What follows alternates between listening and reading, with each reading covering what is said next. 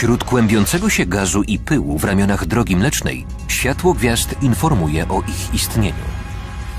Nie są samotne, powstają w gromadach utrzymywanych siłą grawitacji. Grawitacja to architekt kosmosu. Zajmiemy się gromadami gwiazd, skarbnicą wiedzy o kosmosie i drodze mlecznej z jej setkami miliardów słońc.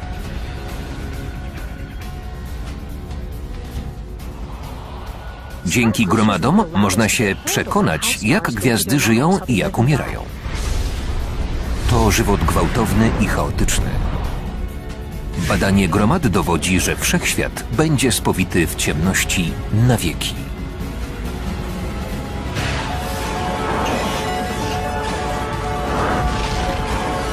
Kosmos, tajemnice wszechświata, makroskalowa budowa wszechświata. Ciemną noc możemy z Ziemi zobaczyć gołym okiem około tysiąca gwiazd. Ten widok robi wrażenie, ale w galaktyce są miejsca, których uroda przebija wszystko.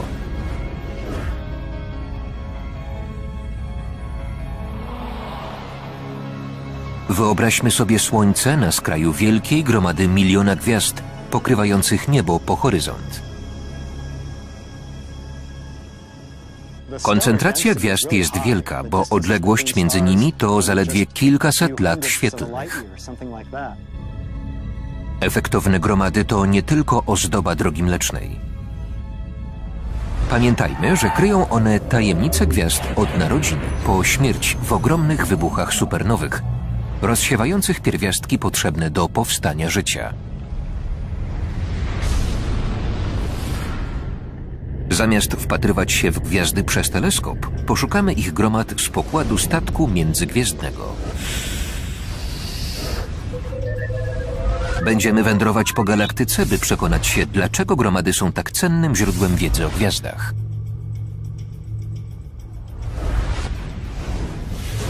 Pierwszy przystanek to Plejady, najsłynniejsza z gromad. Leży 440 lat świetlnych od Ziemi. Znali ją już starożytni. Składa się z kilkuset gwiazd, choć my widzimy tylko kilka. Nazwa Plejady nawiązuje do mitologicznych siedmiu sióstr. Jasna grupa jest wyraźnie widoczna na zimowym niebie. Najlepiej widać w niej sześć gwiazd. Bystro ocy dostrzegą ich nawet dziesięć. Mało kto doliczy się dokładnie siedmiu gwiazd. Być może któraś z nich zbladła od czasów starożytnych. Teraz widać sześć jaśniejszych punktów, choć Plejady liczą kilkaset, może nawet tysiąc gwiazd. Okrążymy Plejady, by poznać tajemnice wszechświata. Gromady dostarczają nam informacji na temat powstawania gwiazd, ich życia i śmierci oraz sekretu stworzenia. Jak w każdej gromadzie, gwiazdy Plejad są blisko siebie, więc leżą w tej samej odległości od Ziemi. Dystans do każdej z gwiazd jest oczywiście nieco inny, ale wobec odległości od Ziemi te różnice są znikome i nieznaczące. Podobnie widzi stadion pilot lecącego nad nim sterowca. Dla niego wszyscy kibice są równoodlegli.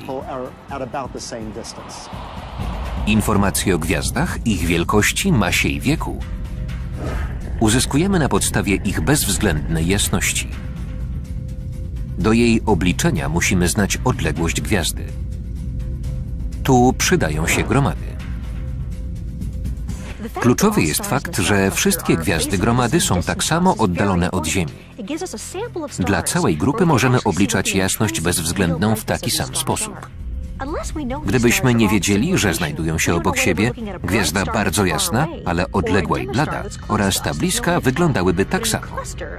W gromadzie można to określić. Te same zależności co dla gwiazd obowiązują także samochody. Mamy tu dwa pojazdy tej samej marki i modelu. Ich reflektory powinny świecić równie jasno. W tym położeniu światło jednego i drugiego jest tak samo intensywne. Potraktujmy samochody tak, jak gwiazdy w kosmosie. Takie same obiekty, ale odległość różna. Cofnij.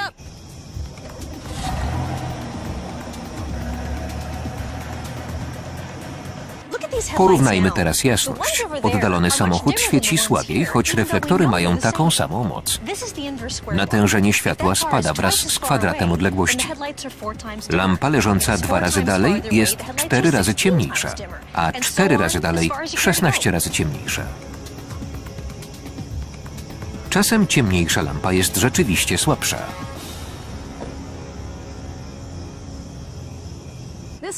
Latarka i reflektor są jak gwiazdy z gromady. Latarka ustawiona obok reflektora wydaje się ciemna, bo jest słabsza. Nie potrzeba różnicy odległości. W gromadzie słabsza gwiazda obok jasnej jest ciemniejsza z powodu mniejszej jasności, a nie dlatego, że leży dalej. W zbliżeniu Plejady to zbiór silniejszych i słabszych gwiazd. Ta różnorodność bliskich obiektów pomaga poznać tajemnicę ewolucji gwiazd.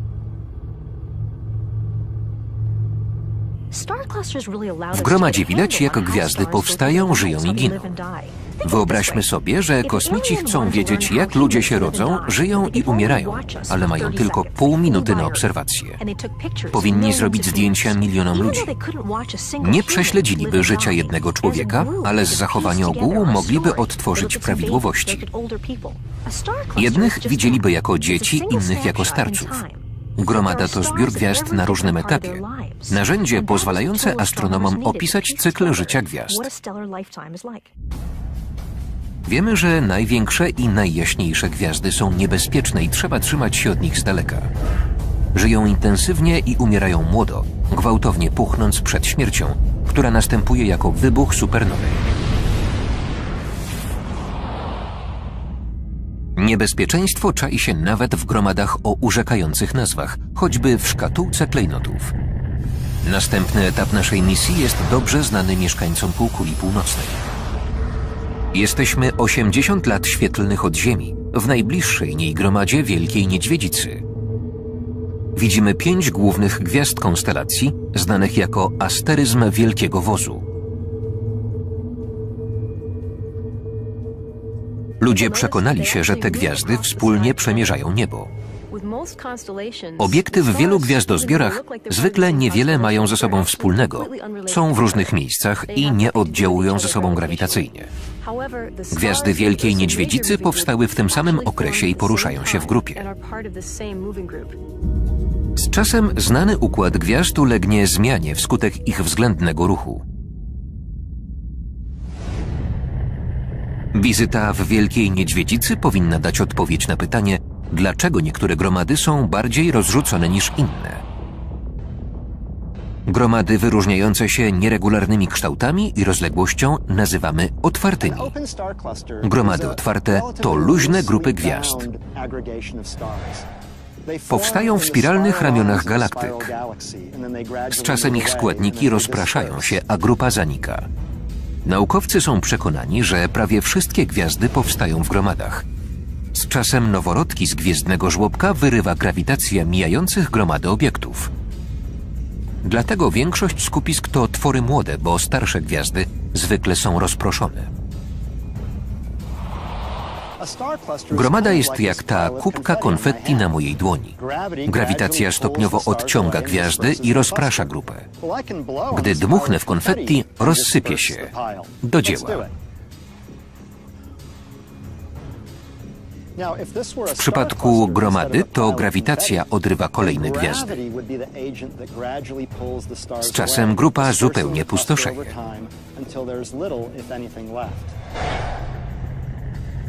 Młode gromady mają wielkie znaczenie dla badaczy. W jednym miejscu jest mnóstwo gwiazd, które można opisać i skatalogować.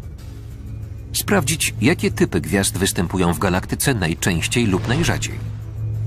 W większości gromad spotykamy kilka olbrzymich jasnych gwiazd, nieco więcej zwykłych wielkości Słońca.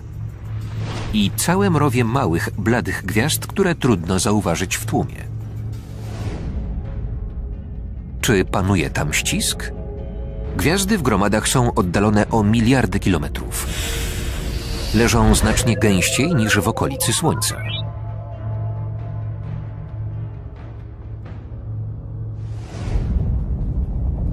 U nas gwiazda przypada na 50 sześciennych lat świetlnych. W gromadzie w takiej objętości jest ich 500. Słońce także powstało w gromadzie otwartej, ale do dziś wielokrotnie okrążyło centrum galaktyki, pozostawiając rodzeństwo rozproszone na całym jej obwodzie. Co by było, gdyby Słońce pozostało w gromadzie? Ukazać to może podróż do aktywnej gromady, w której gwiazdy wciąż powstają. 1500 lat świetlnych od Ziemi leży mgławica w Orionie. Wygląda jak rozmyta gwiazda w mieczu gwiazdozbioru, ale z bliska urzeka grą świateł. Mgławica Oriona to jedna z największych gwiezdnych porodówek. Cały czas tworzą się tam nowe obiekty. W mgławicy leży wiele różnych gwiazd, ale najefektowniejsze są cztery centralne, młode i wyjątkowo jasne, tworzące trapez. Nieopodal tej czwórki jest mnóstwo małych rówieśników.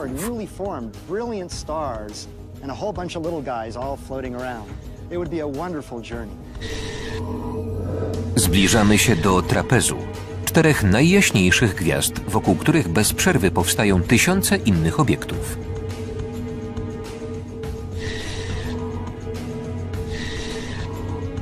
Okazuje się, że obecność gromady porządkuje i reguluje proces gwiazdotwórczy. Zaledwie 10% masy gazu w obłoku zmieni się w gwiazdy. Dlaczego tak mało? Doszliśmy do przekonania, że nowo powstałe gwiazdy utrudniają tworzenie się kolejnych. Oddziałują na obłok, przeszkadzając w powstawaniu następnych skupisk materii. W gromadzie trapez są cztery masywne gwiazdy. Ich intensywne promieniowanie ultrafioletowe i wiatr gwiazdowy rozpraszają gaz, z którego mogłyby powstać następne gwiazdy. Niektórym mimo wszystko się udaje, ale tempo ich formowania jest znacznie osłabione pod wpływem emisji olbrzymów.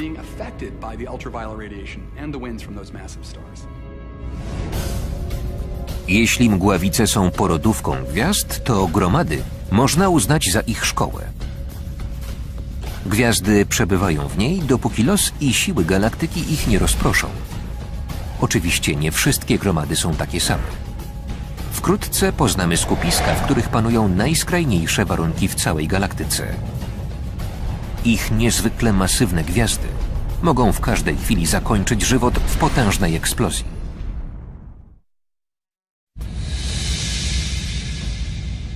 Ludzi interesuje to, która gromada gwiazd jest największa albo czym się wyróżnia.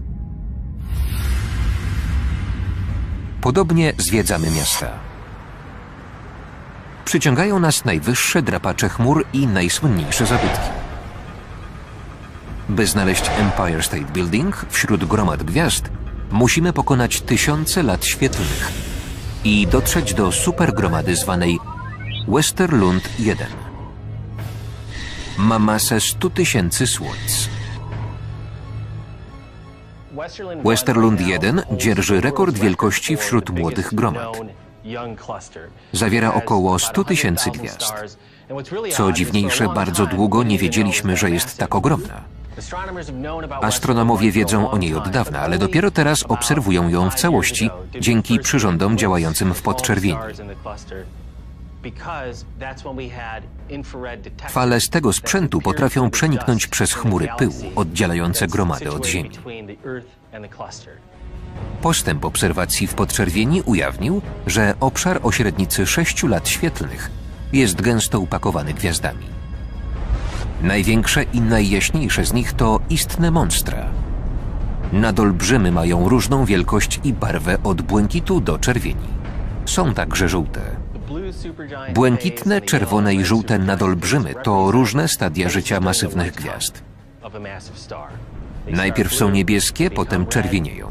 Zdarza im się oscylować między błękitem a czerwienią, gdy zewnętrzne warstwy się oddalają i widzimy gorętsze wnętrze. Między tymi fazami gwiazda staje się żółtym nadolbrzymem. Słońce, które jest przeciętną gwiazdą, nie dorasta do pięt nad olbrzymą każdego koloru. Przypuśćmy, że nasze Słońce, 100 razy większe od Ziemi, zmniejszyło się do rozmiaru łebka od szpilki. Ma 3 mm średnicy, arcydzieło miniaturyzacji. W tej skali największe gwiazdy, czerwone nadolbrzymy, miałyby wielkość widocznej za mną kopuły obserwatorium. Są gigantyczne w porównaniu ze Słońcem, które z kolei przerasta Ziemię. Błękitne, żółte i czerwone nadolbrzymy to ewoluujące masywne gwiazdy. Wypaliły już prawie cały zapas wodoru do syntezy. Rosną do monstrualnych rozmiarów i mogą w każdej chwili wybuchnąć jako supernowa. Supernowe są tak jasne, że bez trudu dostrzeże się je nawet z bardzo daleka. Widz z Pensylwanii, David, zapytał nas, czy wybuch supernowej może tak zakrzywić czasoprzestrzeń, żebyśmy to poczuli. Wybuch supernowej istotnie zdeformuje czasoprzestrzeń, choć my tego nie odczujemy. Wydarzenie nie powali nas na kolana. Za to współczesne i przyszłe detektory fal grawitacyjnych powinny zarejestrować te drobne zmarszczki czasoprzestrzeni. Astronomia fal grawitacyjnych może stać się nowym, obiecującym dziełem astrofizyki. Nasze Słońce zmieni się w czerwonego olbrzyma, ogarnie orbitę Ziemi, ale nie sięgnie do Jowisza, jak nadolbrzymy. W przeciwieństwie do nich nie stanie się supernową.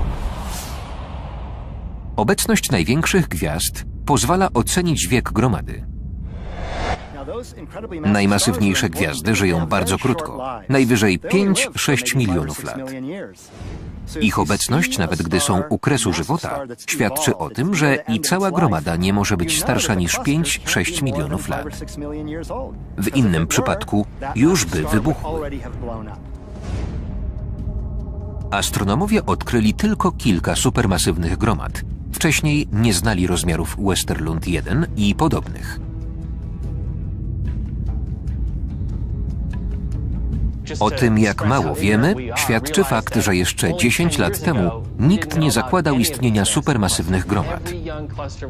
Największe ze znanych miały mniej niż 10 tysięcy gwiazd. Zarejestrowano ich tysiące. Teraz poznaliśmy kilkanaście najmasywniejszych. Ponieważ droga mleczna pełna jest pyłu, obserwowaliśmy gromady gwiazd przede wszystkim w naszym otoczeniu. Nasz wzrok sięgał najwyżej do centrum galaktyki. Ale nowe przyrządy pozwalają spoglądać coraz dalej w spiralne ramiona. Być może Westerlund 1 straci tytuł najmasywniejszej gromady, bo wciąż odkrywamy nowe. Kilka wielkich gromad leży blisko jądra galaktyki. Za kilka milionów lat mogą je rozerwać potężne siły pływowe centralnej czarnej dziury. Zanim to nastąpi, zostaną dokładnie zbadane. Kolejnym przystankiem w naszej podróży jest gromada Quintuplet mająca 4 miliony lat. Zawdzięcza nazwę pięciu supermasywnym gwiazdom w swoim centrum. Jest wśród nich Pistolet, jedna z najjaśniejszych gwiazd w całej galaktyce. Pięć tajemniczych nadolbrzymów gromady kryje się w chmurach czerwonego pyłu. W 2006 roku zafascynowani naukowcy skierowali na nie teleskop Keka z Hawajów. Odkryli coś zaskakującego. Dwa nadolbrzymy są otoczone dziwnymi spiralami. Najwyraźniej nie są samotne. W gromadzie Quintuplet znajduje się kilka masywnych gwiazd tworzących układy podwójne. Stopniowo tracą zewnętrzne warstwy. Odrzucona materia spiętrza się, tworząc spiralne ramiona. Nagromadzenie w jednym miejscu tak różnych zjawisk jest osobliwością. Już nadolbrzymy są rzadkie. Pojawiają się w różnych zakątkach galaktyki, ale nigdy w takim zagęszczeniu.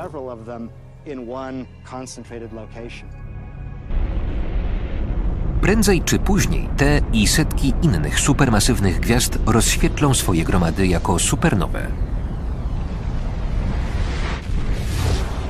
podczas wybuchu zginą planety, promieniowanie unicestwi życie w ich otoczeniu. Podobne niebezpieczeństwo czyha w innej gromadzie blisko centrum galaktyki.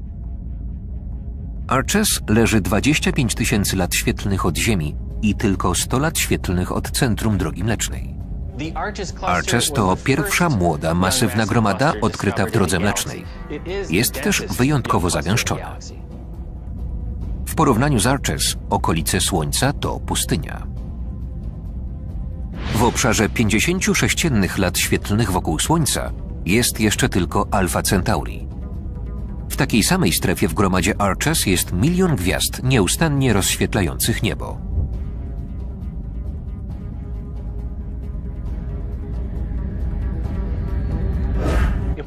Gdybyśmy mieszkali na planecie krążącej wokół gwiazdy w gromadzie Arches czy innej równie gęstej, na nocnym niebie widzielibyśmy tysiące gwiazd znacznie jaśniejszych niż księżyc w pełni. W nocy byłoby tak widno, jak w dobrze oświetlonym pomieszczeniu. Gromada Arches to wyjątkowe miejsce w galaktyce. Pozwoliło astronomom określić, jak duże mogą być gwiazdy.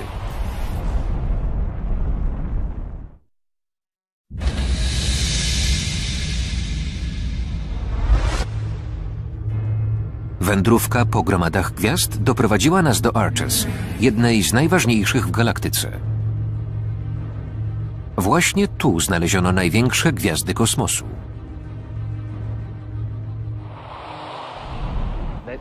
Sprawa wydaje się prosta, ale dopiero od kilku lat znamy maksymalną masę gwiazdy. Arches ma wszystko, czego trzeba do rozstrzygnięcia tej kwestii. Gromada jest tak wielka, że z pewnością zawiera nawet najmasywniejsze gwiazdy. Ma tylko 2,5 miliona lat, więc jej nadolbrzymy nie zdążyły jeszcze wybuchnąć. Dlatego największe gwiazdy w gromadzie można uważać za najmasywniejsze gwiazdy kosmosu. W gromadzie Arches znaleźliśmy mnóstwo małych gwiazd, setki średnich i kilkanaście nadolbrzymów o masie do 130 mas Słońca.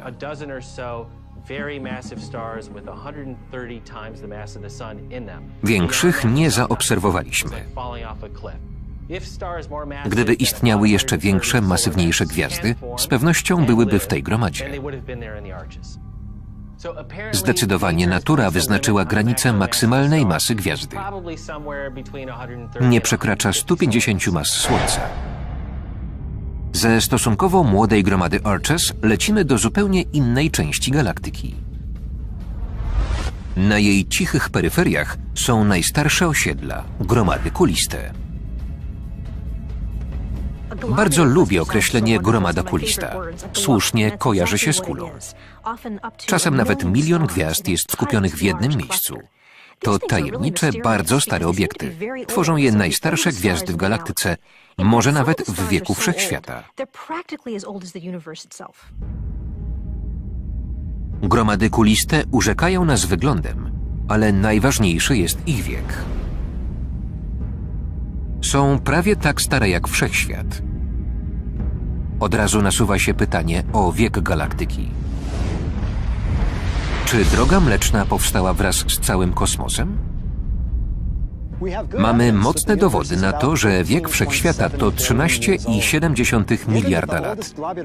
Jeśli najstarsze gromady kuliste mają 13 miliardów lat, powstały w pierwszym miliardzie lat po Wielkim Wybuchu. To oznacza, że w tym okresie utworzyła się również nasza galaktyka i wiele innych.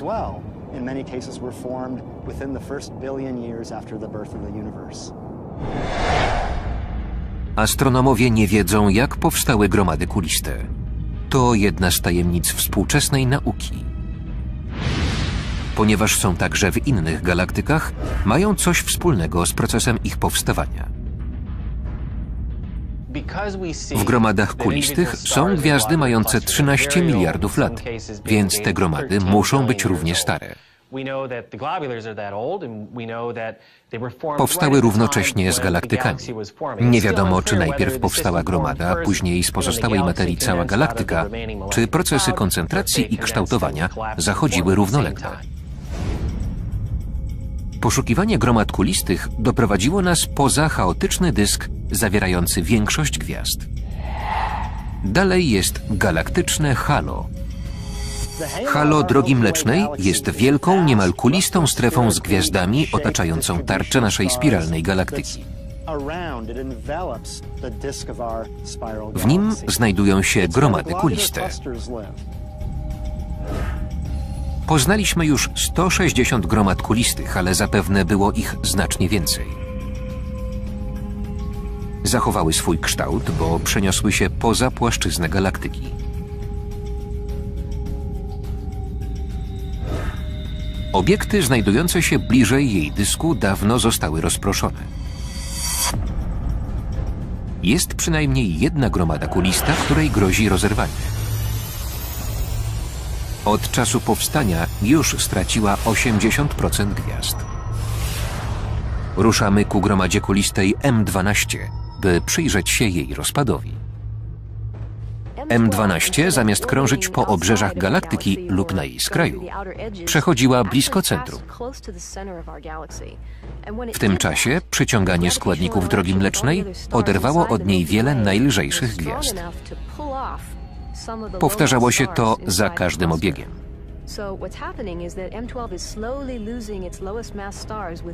W końcu nic z niej nie zostanie. Droga mleczna rozszarpie ją na strzępy. W tej chwili gromady kuliste są bardzo zatłoczone.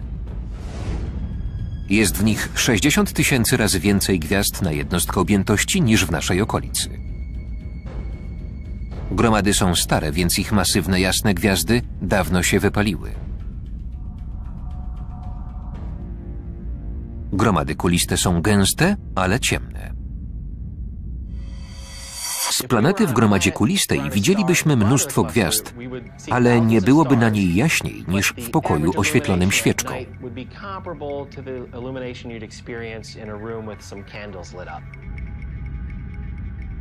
Gromady kuliste krążące w galaktycznym halo są jak księżyce dla planet.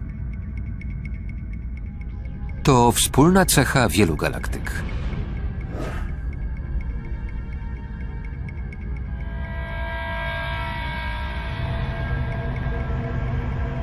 Nasza wyprawa dotarła 60 milionów lat świetlnych od drogi mlecznej do ogromnej galaktyki eliptycznej M87. Ona sama przypomina gromadę kulistą. Większość rozmytych kropek na fotografii z teleskopu kosmicznego Hubble'a to gromady kuliste otaczające galaktykę A Panny. Jest ich aż 15 tysięcy. To skrajny przypadek hierarchicznej budowy kosmosu. M87 znajduje się w środku gromady, złożonej jednak nie z gwiazd, lecz z galaktyk. Tam, gdzie dotarł nasz statek, ścierają się wielkie układy gwiazd pędzących miliony kilometrów na godzinę.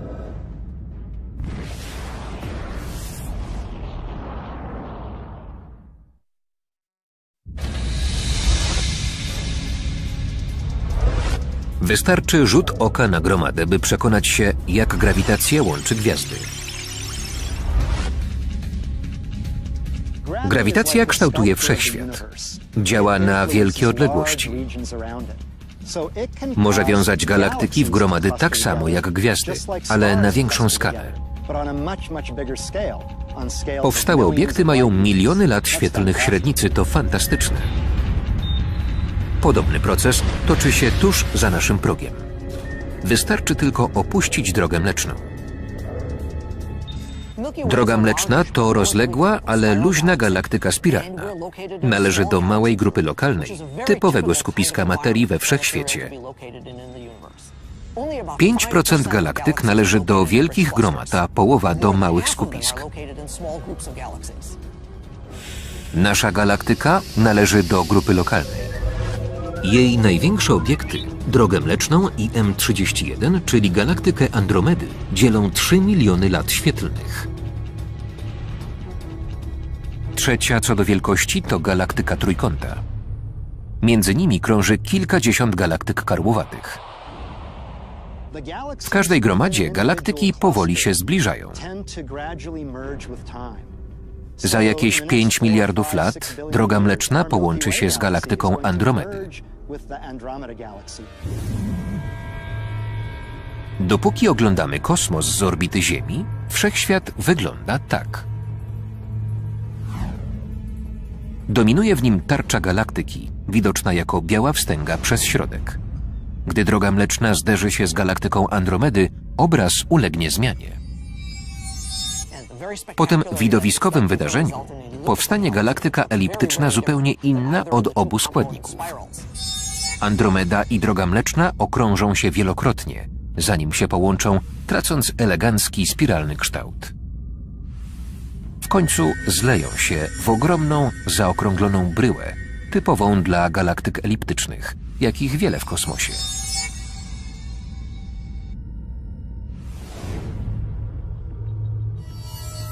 Grupa lokalna to maleństwo w porównaniu z przeciętną gromadą galaktyk, która jest celem naszej kolejnej podróży.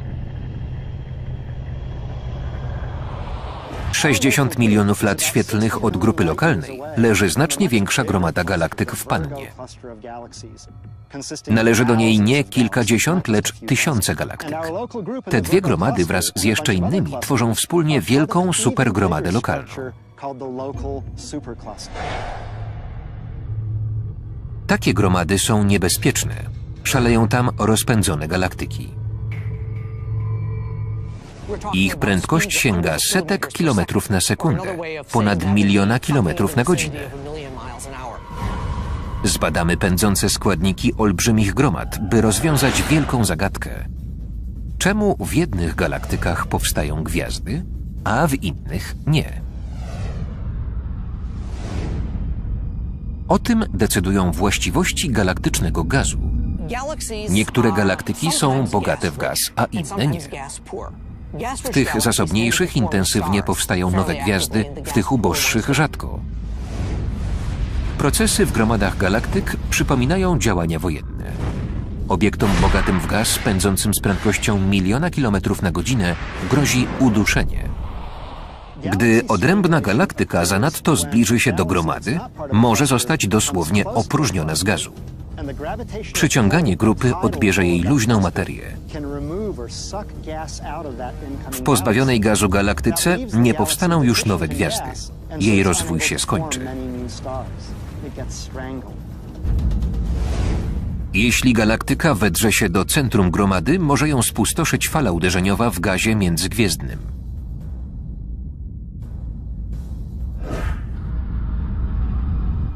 Wyparcie gazu z rozpędzonej galaktyki może spowodować, że zabraknie surowca na nowe gromady gwiazd.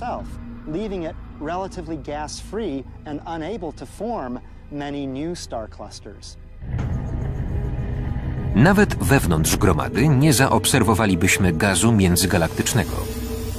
Jest tak rozrzedzony, że w ziemskich warunkach uchodziłby za doskonałą próżnię. Za pomocą przyrządów rentgenowskich zobaczymy w nim silną poświatę. Galaktyki obserwowane w zakresie widzialnym przez zwykłe teleskopy nie są jedynym składnikiem gromad. Nie są nawet najistotniejsze. Głównym elementem jest rzadki gorący gaz, nagrzany podczas powstawania gromad galaktyk. Jego wysoka temperatura sprawia, że wysyła niewidzialne promieniowanie rentgenowskie.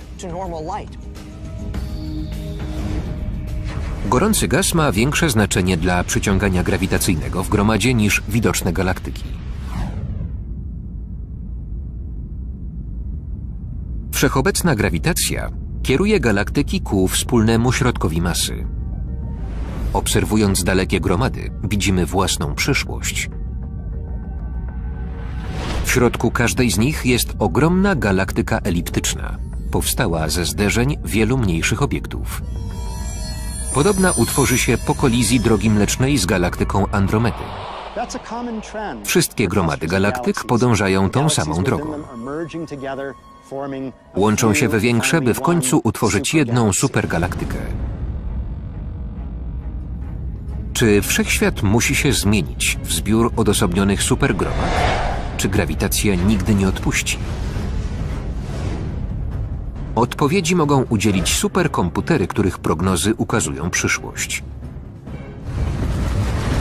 Ich przepowiednie niejednemu zjeżą włos na głowie.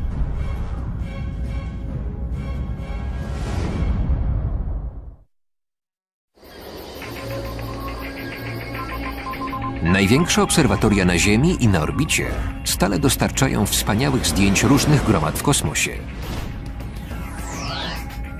Ale każde z nich to tylko zatrzymana klatka. Żeby obejrzeć ewolucję wszechświata, potrzebujemy wehikułu czasu. Życie ludzkie to w kosmicznej skali zaledwie chwilka. Za to symulacje na potężnych komputerach pozwalają nam badać ewolucję galaktyk i ich gromad. Dzięki superkomputerom nasz pojazd może pokonać ostatni etap misji. Poznamy tajemnicę ewolucji wszechświata. Ta symulacja przedstawia prawdopodobny scenariusz powstawania gromad. 12,3 miliarda lat gwiezdnej ewolucji skurczy się do minuty. Symulacje superkomputerów wybitnie pomagają nam poznać mechanizmy wszechświata i jego przyszłość.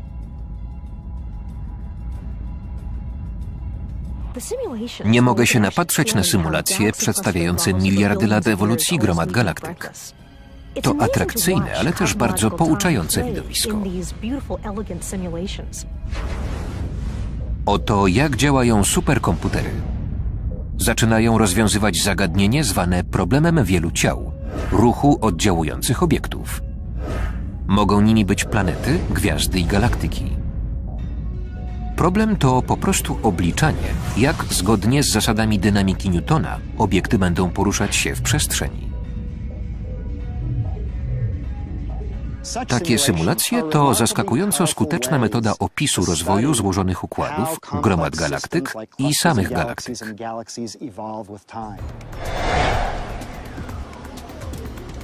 Peter Tuben jest specjalistą od symulacji komputerowych z Uniwersytetu Maryland. Równania grawitacji przelicza dla niego maszyna Deep Thought. Ruch planety wokół gwiazdy można obliczyć bez trudu. To problem dwóch ciał, który każdy student łatwo rozwiąże na kartce. Z chmarą gwiazd w gromadzie będzie mu już trudniej. Problem wielu ciał przypomina żonglerkę. Ja i piłka to układ dwóch ciał. Nie jestem zawodowym żonglerem, z dwiema piłkami już sobie nie poradzę. Właśnie widać. Żonglowanie dwiema piłkami wymaga koordynacji i skupienia. Niektórym udaje się i czterema. Ale jest granica. Nie mamy nieograniczonych możliwości. Nikt nie zdoła żonglować dwudziestoma. Wbrew pozorom, zależności wcale nie są skomplikowane. Za to jest ich tyle, że bez komputera nikt sobie nie poradzi. Trzeba wykonać niezliczoną ilość działań. Do dzieła. Studenci Tubena pokazują, jak trudno przewidywać zachowanie układu 12 gwiazd. Zacznijmy od pierwszego, współrzędne 6-4, drugiego 3-4, trzeciego 2-4. Zagadnienie zaczyna się od określenia wyjściowego położenia każdej gwiazdy i przypisania im prędkości. Reszta jest sprawą obliczeń. Na podstawie praw dynamiki Newtona określają, w jaki sposób każda gwiazda oddziałuje na pozostałe, by obliczyć przyszłe położenie wszystkich ciał. Gdzie przeszła jedynka? Ta grupa studentów musiałaby pracować bez przerwy 300 lat, by obliczyć to, co komputerowi zajmie sekundę. Obliczenia zachowania grupy galaktyk wymagają uwzględnienia milionów, a nawet miliardów ciał. Chcąc analizować przeszłe, obecne i przyszłe stany kosmosu, astronomowie mają do dyspozycji coraz nowocześniejsze komputery. Najnowocześniejsze superkomputery składają się z jednostek, jakie znajdziemy w każdym sklepie i domu. Z tą różnicą, że u nas pracują wspólnie. Nie kosztują dużo i łatwo je połączyć.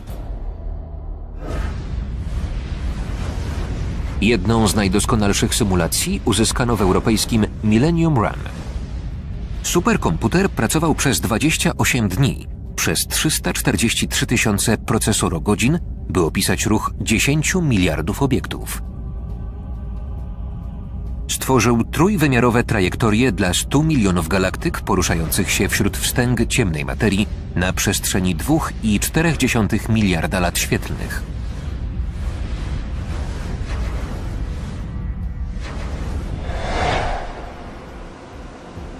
Superkomputery służą naukowcom do poznawania przeszłości, ale również przyszłości wszechświata. Cieszy mnie świadomość, że na podstawie naszej obecnej wiedzy o kosmosie możemy stworzyć symulację przyszłości. Poznamy, jaki nas czeka los. Symulacja zaczyna się od piany kwantowej, osobliwości pozostałych po wielkim wybuchu i obejmuje 13 miliardów lat doprowadziła do powstania gromad galaktyk i supergromady oplecionej włóknami i rozdzielonej próżnią. Takie struktury dziś obserwujemy. Oto skrajny przypadek kosmicznego skupiania się, wywołanego grawitacją. Siła ciążenia jest jednak równoważona przez ciemną energię, która odpycha gromady galaktyk. Kilkanaście lat temu astronomowie stwierdzili, że wszechświat się rozszerza w rosnącym tempie. Grawitacja skupia gromady galaktyk tylko lokalnie. Nasza grupa lokalna w końcu zmieni się w jedną wielką supergalaktykę, która jednak ucieka od innych. Za 100 miliardów lat ten zakątek kosmosu będzie izolowany w bezmiarze ciemności. Gdy dalekie galaktyki będą uciekać z prędkością światła, nie dotrze do nas blask ich gwiazd. Wszystkie gromady rozpierzchną się po kosmosie i znikną nam z pola widzenia. Nasza galaktyka pozostanie jasną oazą wśród niekończących się ciemności. Z niedalekich obłoków gazu wciąż będą się tworzyć nowe gromady gwiazd, ale astronomowie nie zobaczą na niebie niczego poza granicami naszej supergalaktyki. Gdyby zaginął dorobek współczesnej nauki, nasi potomkowie nie mieliby podstaw do postawienia hipotezy wielkiego wybuchu i ucieczki galaktyk. Nie będą wiedzieli, jak było kiedyś, jak wyglądało otoczenie, które obecnie nazywamy wszechświatem. Wersja polska Studio Publishing na zlecenie Amercom S.A. Tekst Jakub Szpetulski-Łazarowicz. Konsultacja Zbigniew Gawryś. Czytał Andrzej Leszczyński.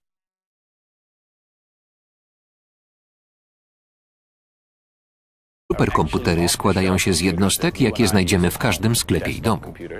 Z tą różnicą, że u nas pracują wspólnie. Nie kosztują dużo i łatwo je połączyć. Jedną z najdoskonalszych symulacji uzyskano w europejskim Millennium Run.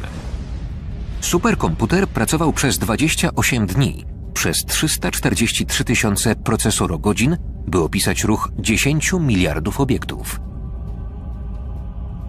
Stworzył trójwymiarowe trajektorie dla 100 milionów galaktyk poruszających się wśród wstęg ciemnej materii na przestrzeni 2,4 miliarda lat świetlnych.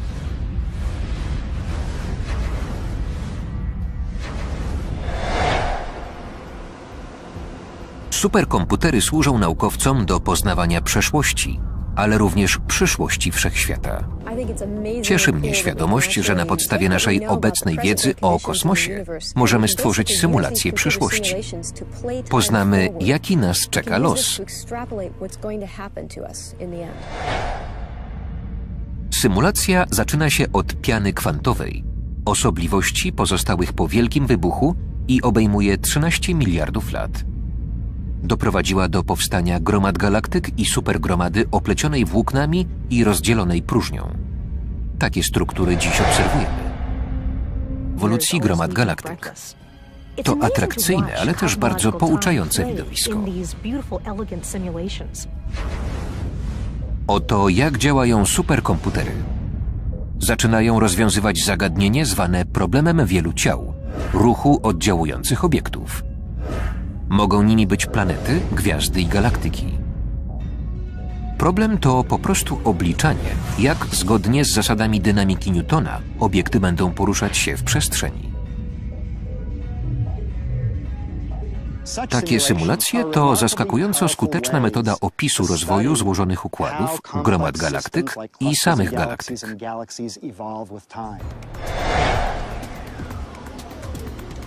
Peter Tuben jest specjalistą od symulacji komputerowych z Uniwersytetu Maryland.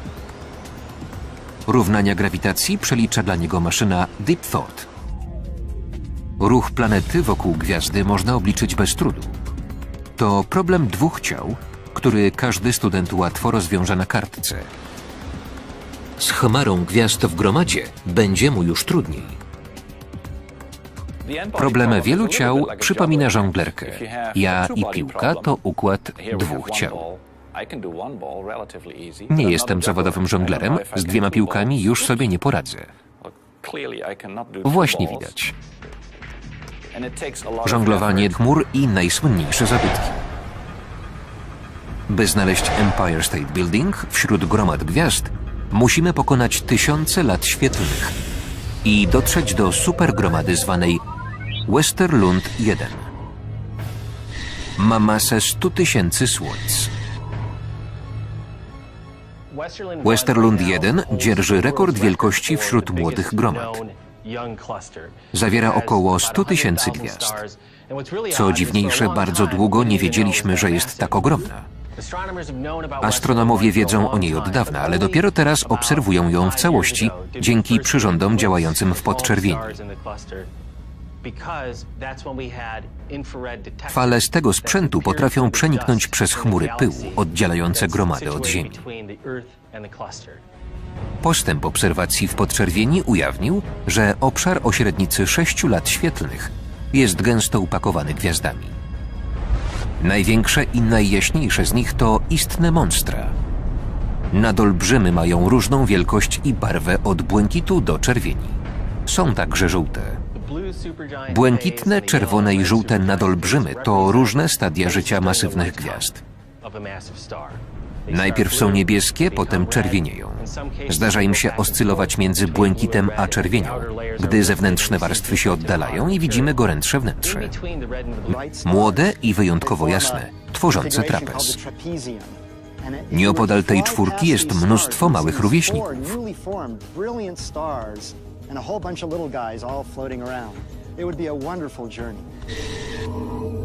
Zbliżamy się do trapezu, czterech najjaśniejszych gwiazd, wokół których bez przerwy powstają tysiące innych obiektów.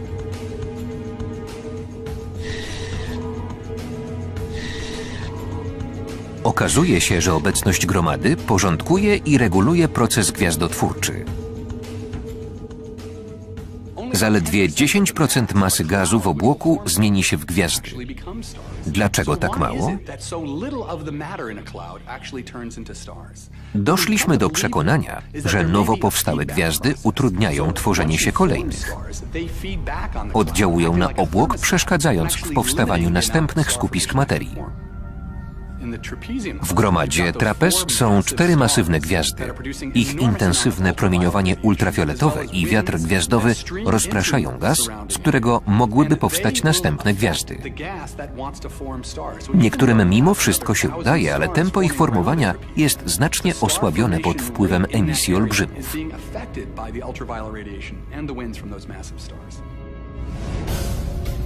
Jeśli mgławice są porodówką gwiazd, to gromady można uznać za ich szne gwiazdy dawno się wypaliły. Gromady kuliste są gęste, ale ciemne. Z planety w gromadzie kulistej widzielibyśmy mnóstwo gwiazd, ale nie byłoby na niej jaśniej niż w pokoju oświetlonym świeczką.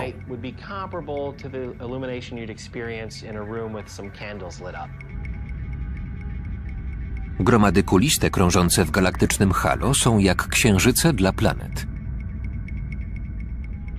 To wspólna cecha wielu galaktyk.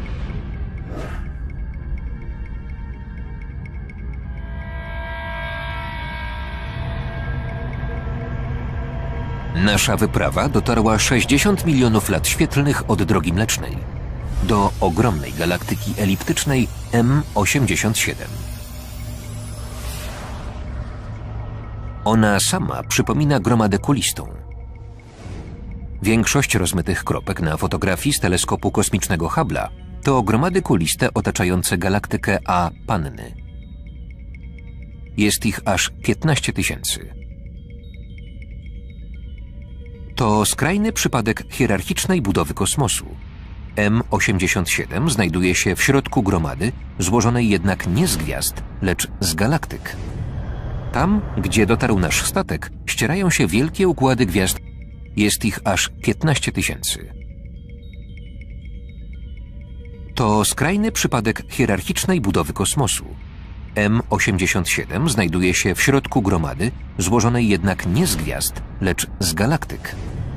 Tam, gdzie dotarł nasz statek, ścierają się wielkie układy gwiazd pędzących miliony kilometrów na godzinę.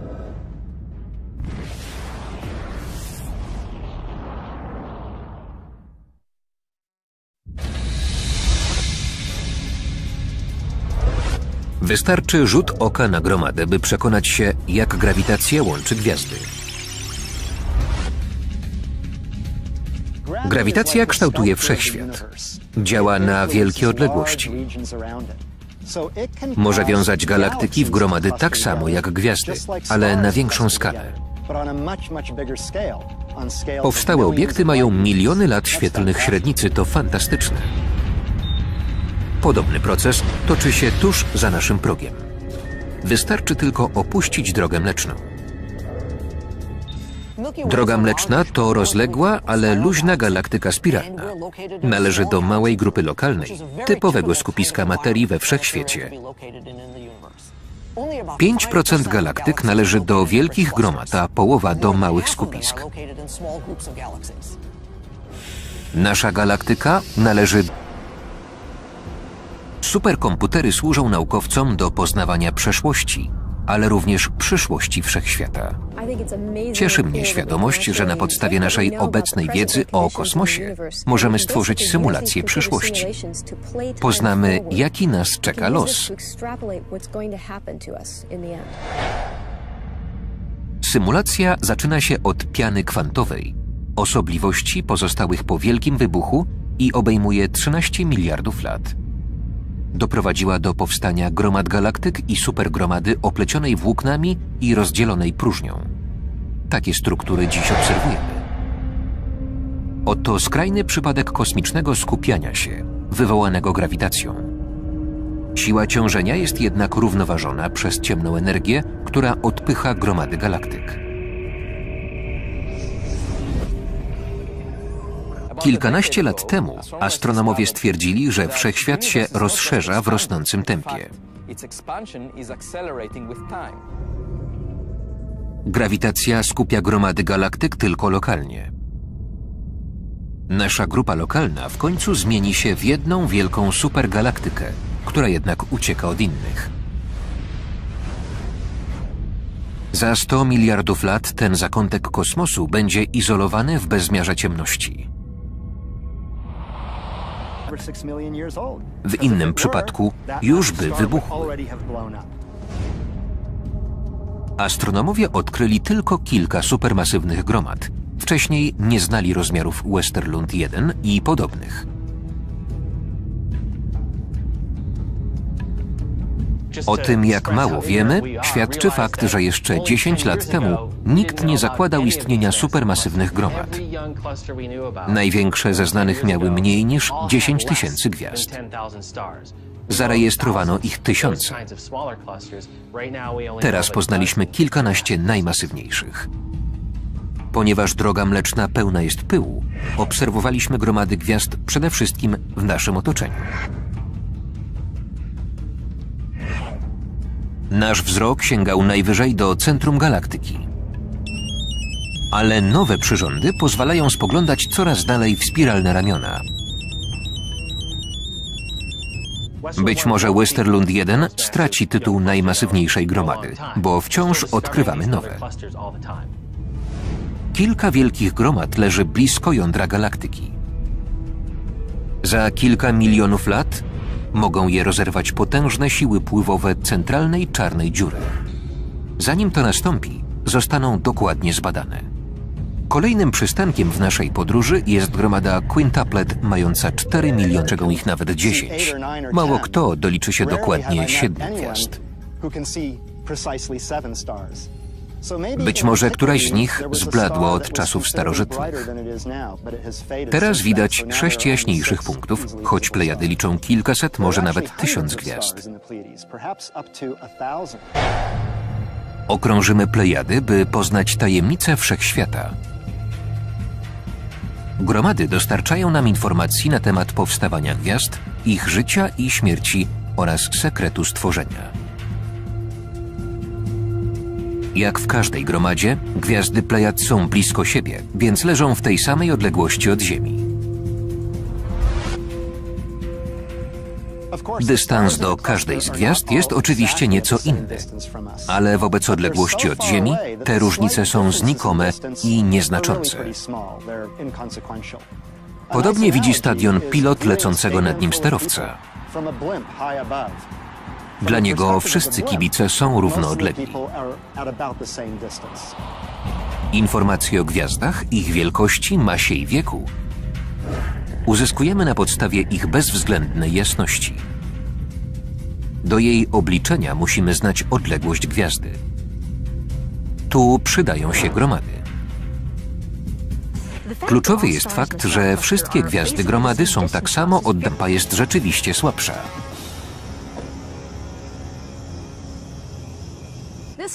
Latarka i reflektor są jak gwiazdy z gromady.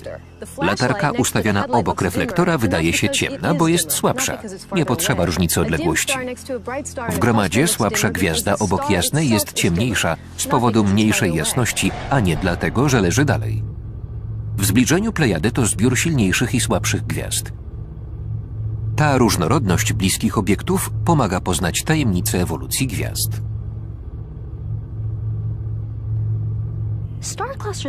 W gromadzie widać, jak gwiazdy powstają, żyją i giną. Wyobraźmy sobie, że kosmici chcą wiedzieć, jak ludzie się rodzą, żyją i umierają, ale mają tylko pół minuty na obserwację. Powinni zrobić zdjęcia milionom ludzi. Nie prześledziliby życia jednego człowieka, ale z zachowania ogółu mogliby odtworzyć prawidłowości. Jednych widzieliby jako dzieci, innych jako starców. Gromada to zbiór gwiazd na różnym etapie. Narzędzie pozwalające astronomom opisać cykl życia gwiazd. Wiemy, że największe i najjaśniejsze gwiazdy są niebezpieczne i trzeba trzymać się od nich z daleka. Żyją intensywnie i umierają młodo, gwałtownie puchnąc przed śmiercią, która następuje jako wybuch supernowej. Niebezpieczeństw, u których bez przerwy powstają tysiące innych obiektów.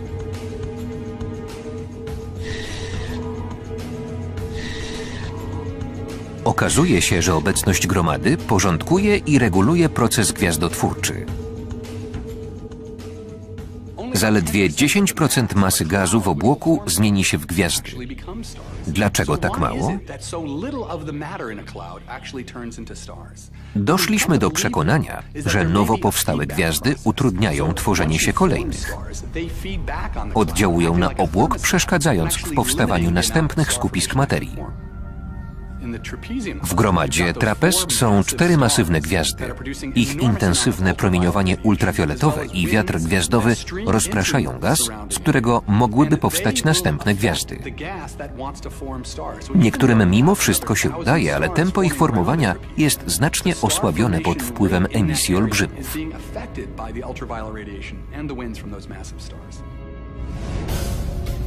Jeśli mgławice są porodówką gwiazd, to gromady można uznać za ich szkołę. Gwiazdy przebywają w niej, dopóki los i siły galaktyki ich nie rozproszą. Oczywiście nie wszystkie gromady są takie same. Wkrótce poznamy skupiska, w których panują najskrajniejsze warunki w całej galaktyce. Ich niezwykle masywne gwiazdy mogą w powstanie galaktyka eliptyczna zupełnie inna od obu składników. Andromeda i Droga Mleczna okrążą się wielokrotnie, zanim się połączą, tracąc elegancki spiralny kształt. W końcu zleją się w ogromną, zaokrągloną bryłę, typową dla galaktyk eliptycznych, jakich wiele w kosmosie.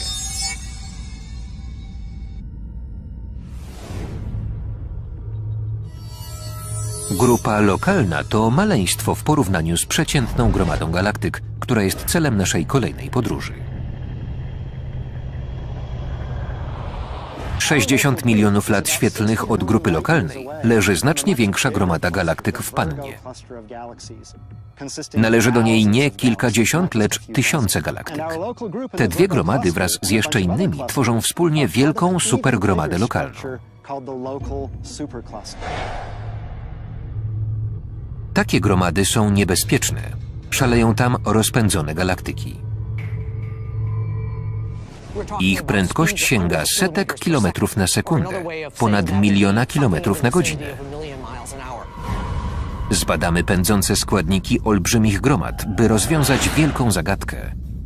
Czemu w jednych galaktykach powstają gwiazdy, a w innych nie?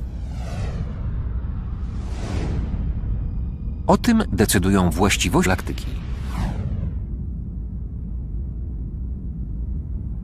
Wszechobecna grawitacja kieruje galaktyki ku wspólnemu środkowi masy. Obserwując dalekie gromady, widzimy własną przyszłość. W środku każdej z nich jest ogromna galaktyka eliptyczna. Powstała ze zderzeń wielu mniejszych obiektów. Podobna utworzy się po kolizji drogi mlecznej z galaktyką Andromedy. Wszystkie gromady galaktyk podążają tą samą drogą. Łączą się we większe, by w końcu utworzyć jedną supergalaktykę. Czy wszechświat musi się zmienić w zbiór odosobnionych supergromad? Czy grawitacja nigdy nie odpuści? Odpowiedzi mogą udzielić superkomputery, których prognozy ukazują przyszłość. Ich przepowiednie niejednemu zjeżą włos na głowie.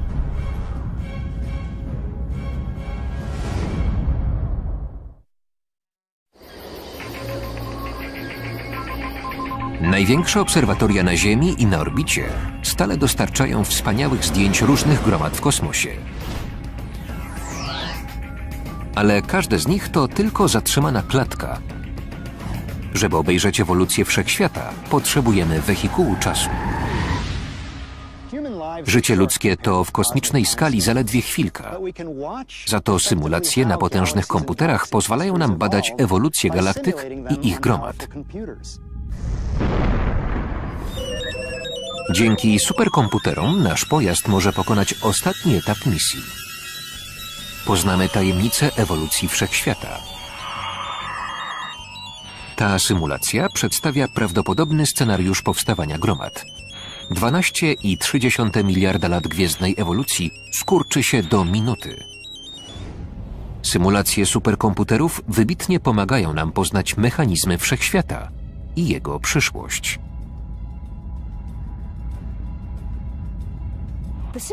Nie mogę się napatrzeć na symulacje przedstawiające miliardy lat ewolucji gromad galaktyk. To atrakcyjne, ale też bardzo pouczające widowisko. Oto jak działają superkomputery. Zaczynają rozwiązywać zagadnienie zwane problemem wielu ciał, ruchu oddziałujących obiektów.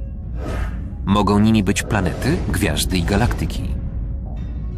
Problem to po prostu obliczanie, jak zgodnie z zasadami dynamiki Newtona obiekty będą poruszać się w przestrzeni.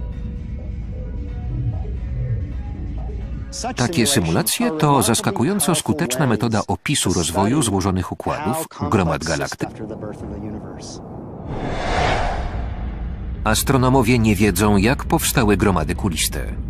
To jedna z tajemnic współczesnej nauki ponieważ są także w innych galaktykach, mają coś wspólnego z procesem ich powstawania. W gromadach kulistych są gwiazdy mające 13 miliardów lat, więc te gromady muszą być równie stare. Powstały równocześnie z galaktykami. Nie wiadomo, czy najpierw powstała gromada, a później z pozostałej materii cała galaktyka, czy procesy koncentracji i kształtowania zachodziły równolegle. Poszukiwanie gromad kulistych doprowadziło nas poza chaotyczny dysk zawierający większość gwiazd. Dalej jest galaktyczne halo. Halo Drogi Mlecznej jest wielką, niemal kulistą strefą z gwiazdami otaczającą tarczę naszej spiralnej galaktyki. W nim znajdują się gromady kuliste. Poznaliśmy już 160 gromad kulistych, ale zapewne było ich znacznie więcej. Zachowały swój kształt, bo przeniosły się poza płaszczyznę galaktyki. Obiekty znajdujące się bliżej jej dysku dawno zostały rozproszone. Jest przynajmniej jedna gromada kulista, której grozi rozerwanie. Od czasu powstania już straciła 80% gwiazd. Ruszamy ku gromadzie kulistej M12, by przyjrzeć się jej rozpadowi. M12, zamiast krążyć po obrzeżach galaktyki lub na jej skraju, przechodziła blisko centrum. W tym czasie przyciąganie składników drogi mlecznej oderwało od niej wiele najlżejszych gwiazd. Powtarzało się to za każdym obiegiem.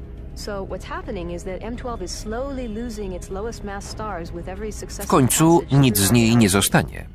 Droga mleczna rozszarpie ją na strzępy.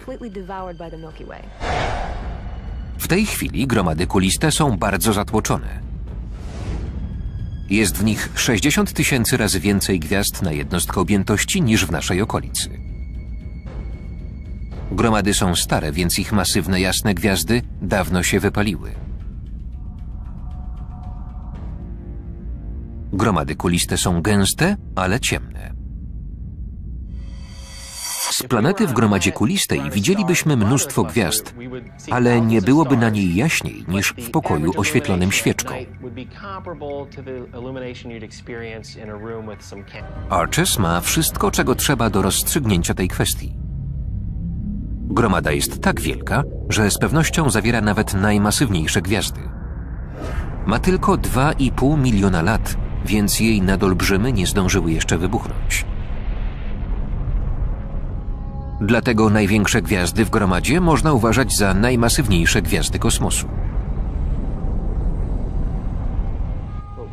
W gromadzie Arches znaleźliśmy mnóstwo małych gwiazd, setki średnich i kilkanaście nadolbrzymów o masie do 130 mas Słońca.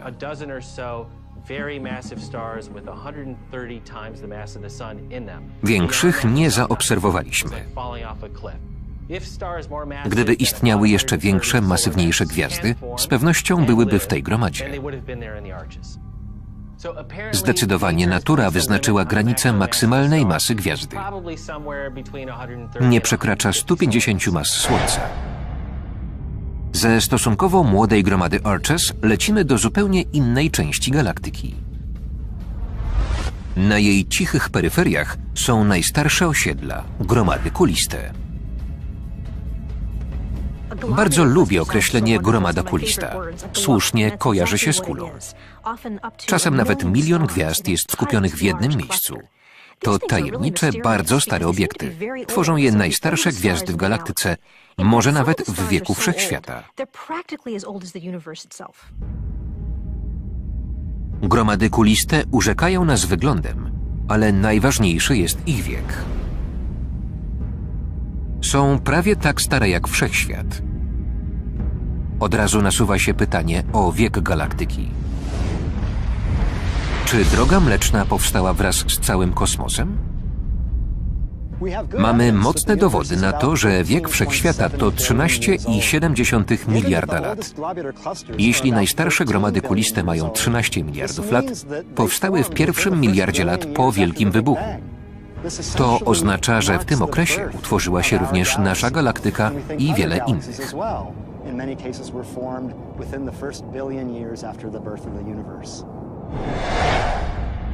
Astronomowie nie wiedzą, jak powstały gromady kuliste. To jedna z tajemnic współczesnej nauki. Ponieważ są także w innych galaktykach, mają coś wspólnego z procesem ich powstawania. W gromadach kulistych są gwiazdy mające 13 miliardów lat, więc te gromady muszą być równie stare. Powstały równocześnie z galaktykami. Nie wiadomo, czy najpierw powstała gromada, później z pozostałej materii cała galaktyka, czy procesy koncentracji i kształtowania. Okazuje się, że obecność gromady porządkuje i reguluje proces gwiazdotwórczy. Zaledwie 10% masy gazu w obłoku zmieni się w gwiazdy. Dlaczego tak mało? Doszliśmy do przekonania, że nowo powstałe gwiazdy utrudniają tworzenie się kolejnych. Oddziałują na obłok, przeszkadzając w powstawaniu następnych skupisk materii. W gromadzie trapez są cztery masywne gwiazdy. Ich intensywne promieniowanie ultrafioletowe i wiatr gwiazdowy rozpraszają gaz, z którego mogłyby powstać następne gwiazdy. Niektórym mimo wszystko się udaje, ale tempo ich formowania jest znacznie osłabione pod wpływem emisji olbrzymów.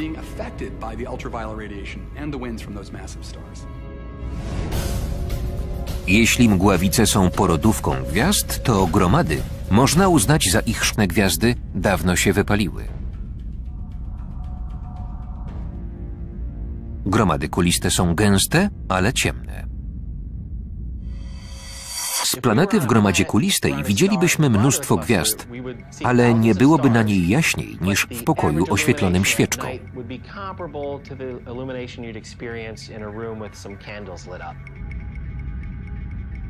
Gromady kuliste krążące w galaktycznym halo są jak księżyce dla planet. To wspólna cecha wielu galaktyk.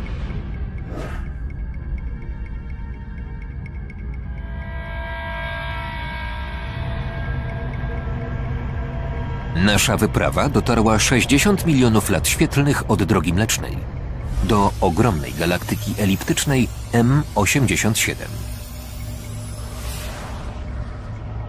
Ona sama przypomina gromadę kulistą. Większość rozmytych kropek na fotografii z teleskopu kosmicznego Hubble'a to gromady kuliste otaczające galaktykę A Panny. Jest ich aż 15 tysięcy. To skrajny przypadek hierarchicznej budowy kosmosu. M87 znajduje się w środku gromady, złożonej jednak nie z gwiazd, lecz z galaktyk. Tam, gdzie dotarł nasz statek, ścierają się wielkie układy gwiazd. Jest ich aż 15 tysięcy. To skrajny przypadek hierarchicznej budowy kosmosu. M87 znajduje się w środku gromady, złożonej jednak nie z gwiazd, lecz z galaktyk. Tam, gdzie dotarł nasz statek, ścierają się wielkie układy gwiazd pędzących miliony kilometrów na godzinę.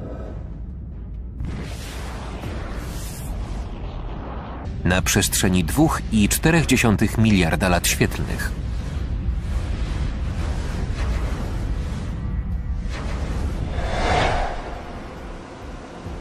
Superkomputery służą naukowcom do poznawania przeszłości, ale również przyszłości wszechświata. Cieszy mnie świadomość, że na podstawie naszej obecnej wiedzy o kosmosie możemy stworzyć symulację przyszłości. Poznamy, jaki nas czeka los. Symulacja zaczyna się od piany kwantowej, osobliwości pozostałych po wielkim wybuchu i obejmuje 13 miliardów lat doprowadziła do powstania gromad galaktyk i supergromady oplecionej włóknami i rozdzielonej próżnią. Takie struktury dziś obserwujemy. Ewolucji gromad galaktyk. To atrakcyjne, ale też bardzo pouczające widowisko. Oto jak działają superkomputery. Zaczynają rozwiązywać zagadnienie zwane problemem wielu ciał, ruchu oddziałujących obiektów. Mogą nimi być planety, gwiazdy i galaktyki. Problem to po prostu obliczanie, jak zgodnie z zasadami dynamiki Newtona obiekty będą poruszać się w przestrzeni. Takie symulacje to zaskakująco skuteczna metoda opisu rozwoju złożonych układów, gromad galaktyk i samych galaktyk.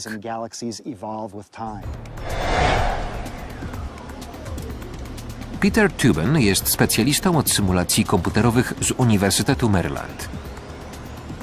Równania grawitacji przelicza dla niego maszyna Deep Thought. Ruch planety wokół gwiazdy można obliczyć bez trudu. To problem dwóch ciał, który każdy student łatwo rozwiąże na kartce. Z chmarą gwiazd w gromadzie będzie mu już trudniej. Problem wielu ciał przypomina żonglerkę. Ja i piłka to układ dwóch ciał. Nie jestem zawodowym żonglerem, z dwiema piłkami już sobie nie poradzę. Właśnie widać. Żonglowanie chmur i najsłynniejsze zabytki. By znaleźć Empire State Building wśród gromad gwiazd, musimy pokonać tysiące lat świetlnych i dotrzeć do supergromady zwanej Westerlund 1. Ma masę 100 tysięcy słońc. Westerlund 1 dzierży rekord wielkości wśród młodych gromad. Zawiera około 100 tysięcy gwiazd. Co dziwniejsze, bardzo długo nie wiedzieliśmy, że jest tak ogromna. Astronomowie wiedzą o niej od dawna, ale dopiero teraz obserwują. Zaledwie 10% masy gazu w obłoku zmieni się w gwiazdy. Dlaczego tak mało? Doszliśmy do przekonania, że nowo powstałe gwiazdy utrudniają tworzenie się kolejnych. Oddziałują na obłok, przeszkadzając w powstawaniu następnych skupisk materii. W gromadzie trapez są cztery masywne gwiazdy. Ich intensywne promieniowanie ultrafioletowe i wiatr gwiazdowy rozpraszają gaz, z którego mogłyby powstać następne gwiazdy. Niektórym mimo wszystko się udaje, ale tempo ich formowania jest znacznie osłabione pod wpływem emisji olbrzymów.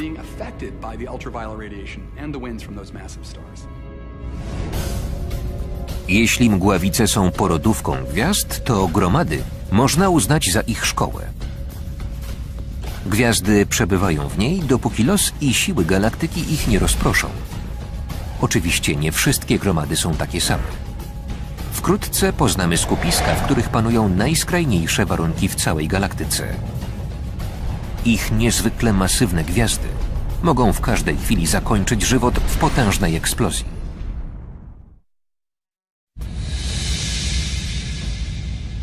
Ludzi interesuje to, która gromada gwiazd jest największa albo czym się wyróżnia. Podobnie zwiedzamy miasta. Przyciągają nas najwyższe drapacze chmur i najsłynniejsze zabytki. By znaleźć Empire State Building wśród gromad gwiazd, musimy pokonać tysiące lat świetlnych i dotrzeć do supergromady zwanej Westerlund 1 ma masę 100 tysięcy słońc.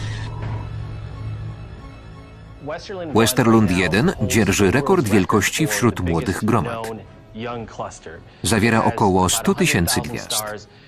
Co dziwniejsze, bardzo długo nie wiedzieliśmy, że jest tak ogromna.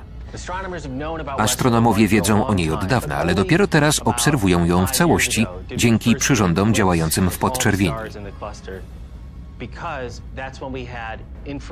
Fale z tego sprzętu potrafią przeniknąć przez chmury pyłu oddzielające gromadę od Ziemi.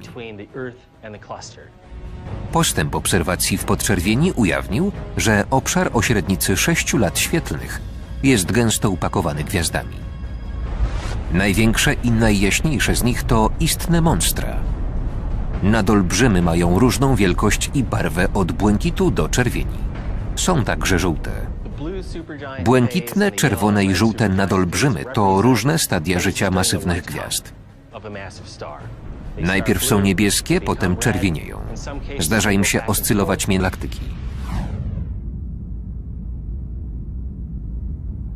Wszechobecna grawitacja kieruje galaktyki ku wspólnemu środkowi masy.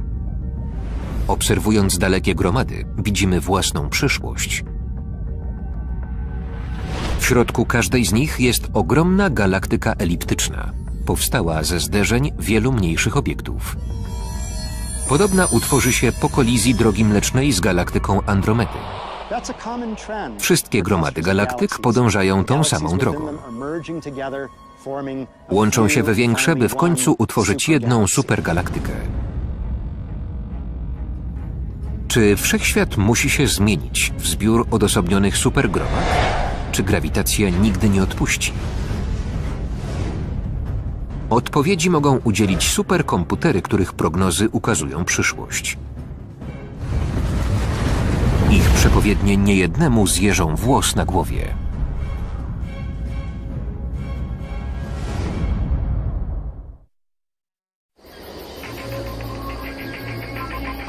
Największe obserwatoria na Ziemi i na orbicie stale dostarczają wspaniałych zdjęć różnych gromad w kosmosie.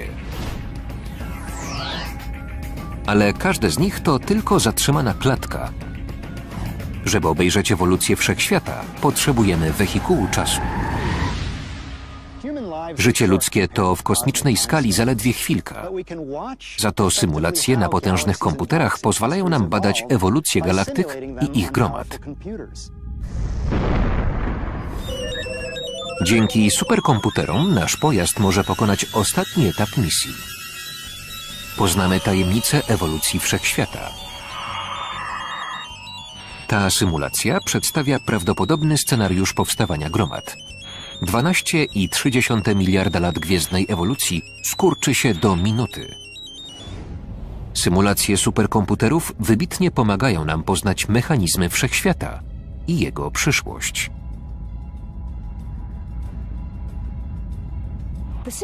Nie mogę się napatrzeć na symulacje przedstawiające miliardy lat ewolucji gromad galaktyk. To atrakcyjne, ale też bardzo pouczające widowisko. Oto jak działają superkomputery. Zaczynają rozwiązywać zagadnienie zwane problemem wielu ciał, ruchu oddziałujących obiektów. Mogą nimi być planety, gwiazdy i galaktyki.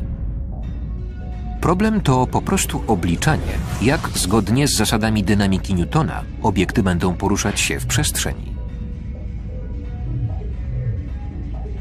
Takie symulacje to zaskakująco skuteczna metoda opisu rozwoju złożonych układów, gromad galakty zupełnie inna od obu składników.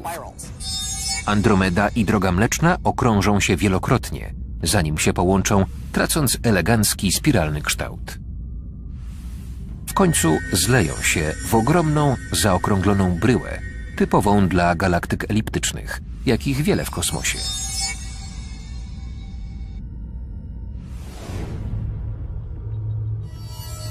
Grupa lokalna to maleństwo w porównaniu z przeciętną gromadą galaktyk, która jest celem naszej kolejnej podróży.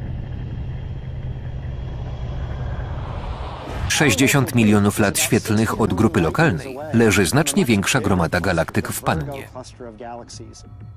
Należy do niej nie kilkadziesiąt, lecz tysiące galaktyk.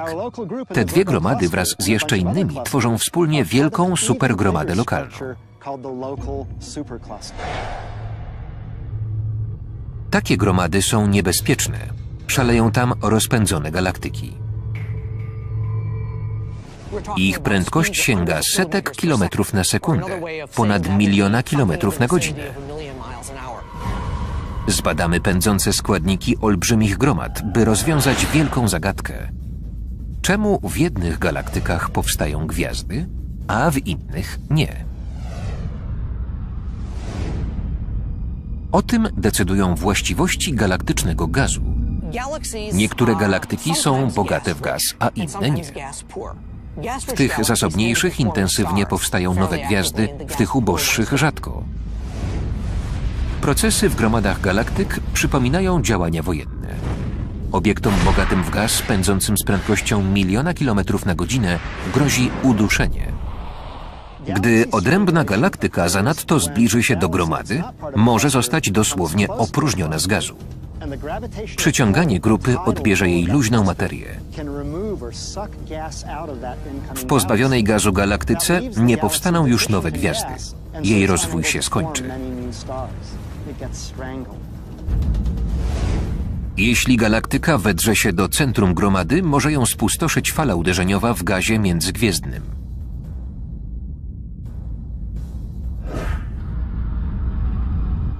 Wyparcie gazu z rozpędzonej galaktyki może spowodować, że zabraknie surowca na nowe gromady gwiazd.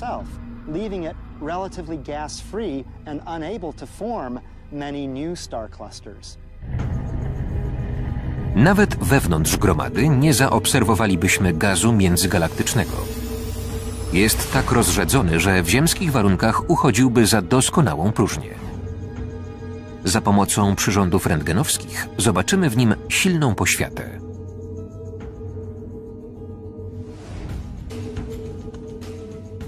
Zaledwie 10% masy gazu w obłoku zmieni się w gwiazdy. Dlaczego tak mało? Doszliśmy do przekonania, że nowo powstałe gwiazdy utrudniają tworzenie się kolejnych. Oddziałują na obłok, przeszkadzając w powstawaniu następnych skupisk materii.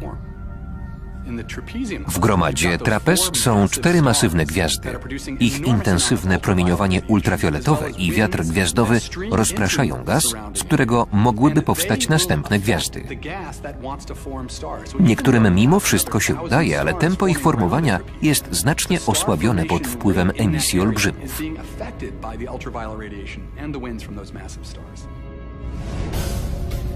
Jeśli mgławice są porodówką gwiazd, to gromady można uznać za ich szkołę. Gwiazdy przebywają w niej, dopóki los i siły galaktyki ich nie rozproszą.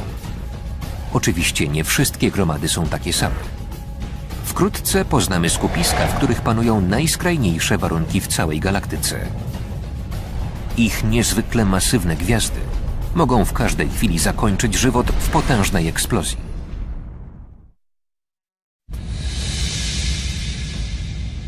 Ludzi interesuje to, która gromada gwiazd jest największa albo czym się wyróżnia. Podobnie zwiedzamy miasta. Przyciągają nas najwyższe drapacze chmur i najsłynniejsze zabytki. By znaleźć Empire State Building wśród gromad gwiazd, musimy pokonać tysiące lat świetlnych i dotrzeć do supergromady zwanej Westerlund 1 ma masę 100 tysięcy słońc. Westerlund 1 dzierży rekord wielkości wśród młodych gromad. Zawiera około 100 tysięcy gwiazd. Co dziwniejsze, bardzo długo nie wiedzieliśmy, że jest tak ogromna. Astronomowie wiedzą o niej od dawna, ale dopiero teraz obserwują ją w całości dzięki przyrządom działającym w podczerwieni.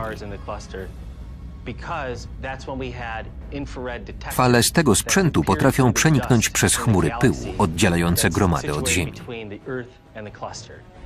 Postęp obserwacji w podczerwieni ujawnił, że obszar o średnicy 6 lat świetlnych jest gęsto upakowany gwiazdami. Największe i najjaśniejsze z nich to istne monstra. Nadolbrzymy mają różną wielkość i barwę od błękitu do czerwieni. Są także żółte. Błękitne, czerwone i żółte nadolbrzymy to różne stadia życia masywnych gwiazd. Najpierw są niebieskie, potem czerwienieją. Zdarza im... Podobne niebezpieczeństwo czyha w innej gromadzie blisko centrum galaktyki. Arches leży 25 tysięcy lat świetlnych od Ziemi i tylko 100 lat świetlnych od centrum Drogi Mlecznej. Arches to pierwsza młoda, masywna gromada odkryta w drodze mlecznej. Jest też wyjątkowo zagęszczona. W porównaniu z Arches okolice Słońca to pustynia. W obszarze 50 sześciennych lat świetlnych wokół Słońca jest jeszcze tylko Alpha Centauri. W takiej samej strefie w gromadzie Arches jest milion gwiazd nieustannie rozświetlających niebo.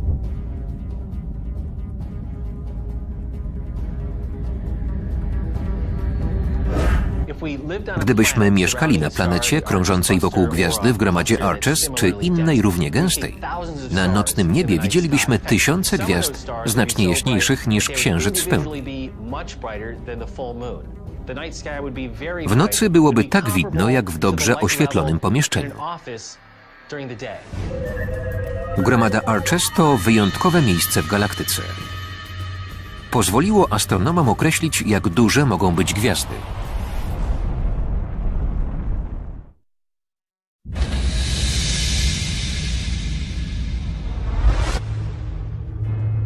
Wędrówka po gromadach gwiazd doprowadziła nas do Arches, jednej z najważniejszych w galaktyce. Właśnie tu znaleziono największe gwiazdy kosmosu.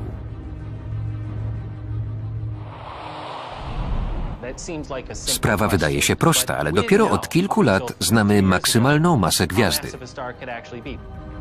Arches ma wszystko, czego trzeba do rozstrzygnięcia tej kwestii. Gromada jest tak wielka, że z pewnością zawiera nawet najmasywniejsze gwiazdy. Ma tylko 2,5 miliona lat, więc jej nadolbrzymy nie zdążyły jeszcze wybuchnąć. Dlatego największe gwiazdy w gromadzie można uważać za najmasywniejsze gwiazdy kosmosu. W gromadzie Arches znaleźliśmy mnóstwo małych gwiazd, setki średnich i kilkanaście nadolbrzymów o masie do 130 mas Słońca.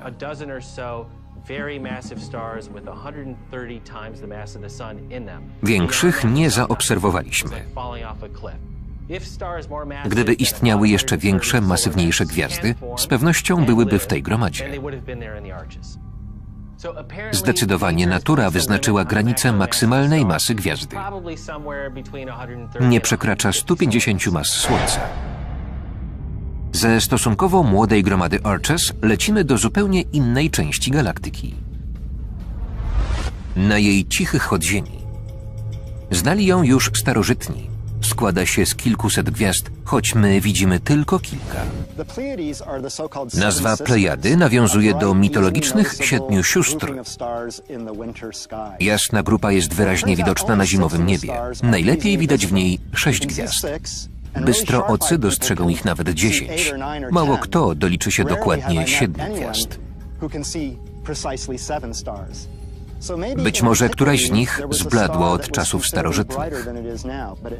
Teraz widać sześć jaśniejszych punktów, choć Plejady liczą kilkaset, może nawet tysiąc gwiazd. Okrążymy Plejady, by poznać tajemnice wszechświata. Gromady dostarczają nam informacji na temat powstawania gwiazd, ich życia i śmierci oraz sekretu stworzenia. Jak w każdej gromadzie, gwiazdy Plejad są blisko siebie, więc leżą w tej samej odległości od Ziemi. Dystans do każdej z gwiazd jest oczywiście nieco inny, ale wobec odległości od Ziemi te różnice są znikome i nieznaczące. Podobnie widzi stadion pilot lecącego nad nim sterowca. Dla niego wszyscy kibice są równoodlegli. Informacje o gwiazdach, ich wielkości, masie i wieku uzyskujemy na podstawie ich bezwzględnej jasności. Do jej obliczenia musimy znać odległość gwiazdy. Tu przydają się gromady. Kluczowy jest fakt, że wszystkie gwiazdy gromady są tak samo oddalone od Ziemi. Dla całej grupy możemy obliczać jasność bezwzględną w taki sam sposób. Gdybyśmy nie wiedzieli, że znajdują się obok siebie, gwiazda bardzo jasna, ale odległa i blada oraz ta bliska wyglądałyby tak samo. W gromadzie można to określić. Te same zależności co dla gwiazd obowiązują także samochody. Mamy tu dwa pojazdy tej samej marki i modelu. Ich reflektory powinny świecić równie jasno. W tym położeniu światło jednego i drugiego jest tak samo intensywne. Potraktujmy samochody tak, jak gwiazdy w kosmosie. Takie same obiekty, ale odległość różna. Cofnij.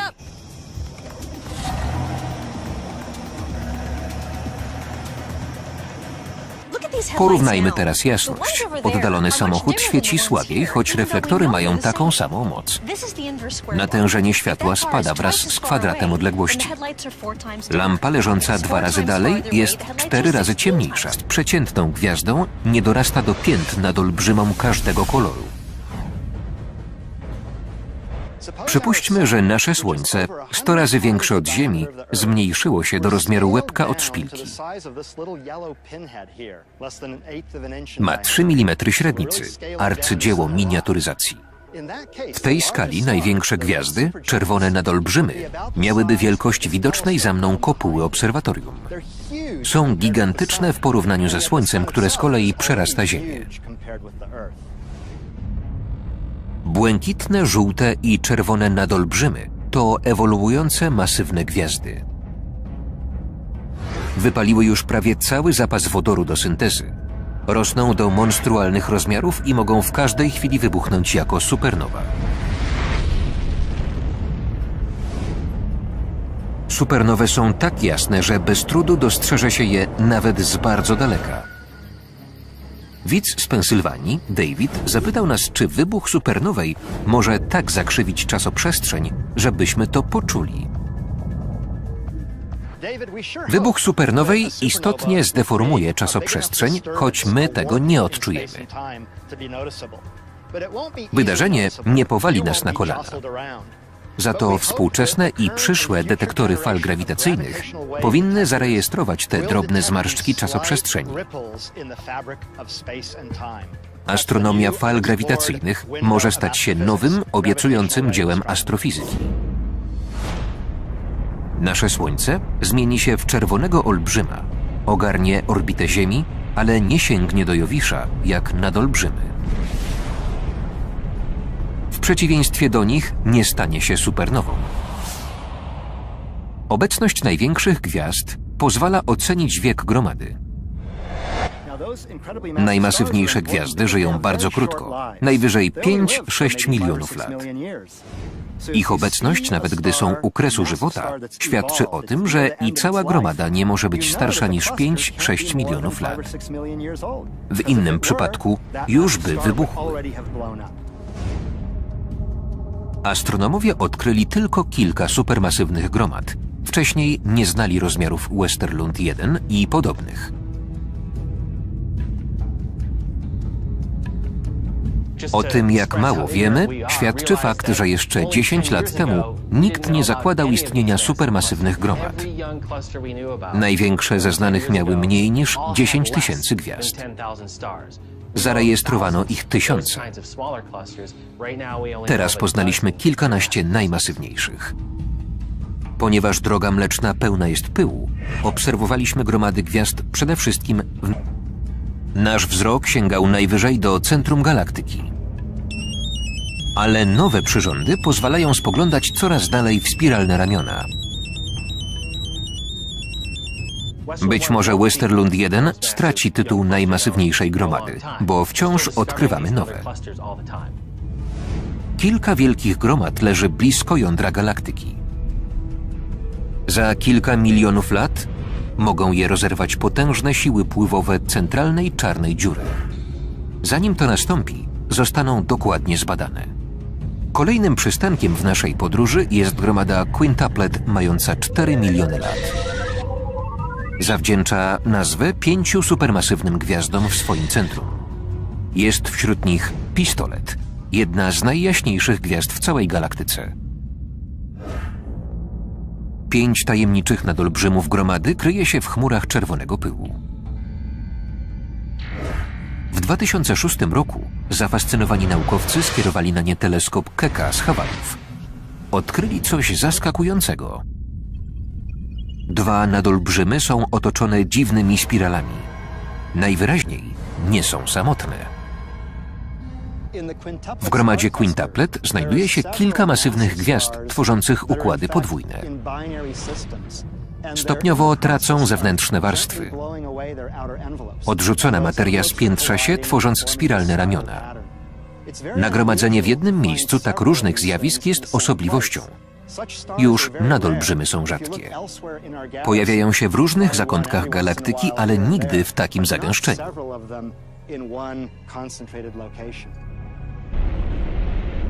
Prędzej czy później te i setki innych supermasywnych gwiazd rozświetlą swoje gromady jako supernowe. Podczas wybuchu zginą planety, promieniowanie unicestwi życie w ich otoczeniu. Podobne niebezpieczeństwo czyha w innej gromadzie blisko centrum galaktyki.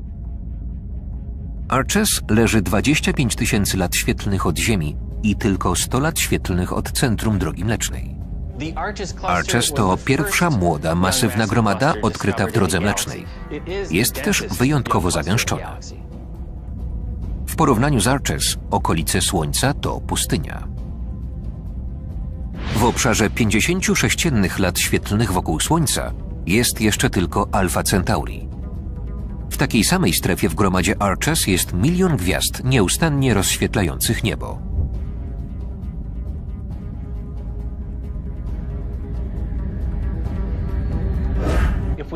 Gdybyśmy mieszkali na planecie krążącej wokół gwiazdy w galaktykę A Panny.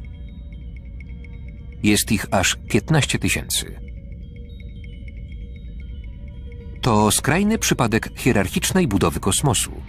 M87 znajduje się w środku gromady, złożonej jednak nie z gwiazd, lecz z galaktyk.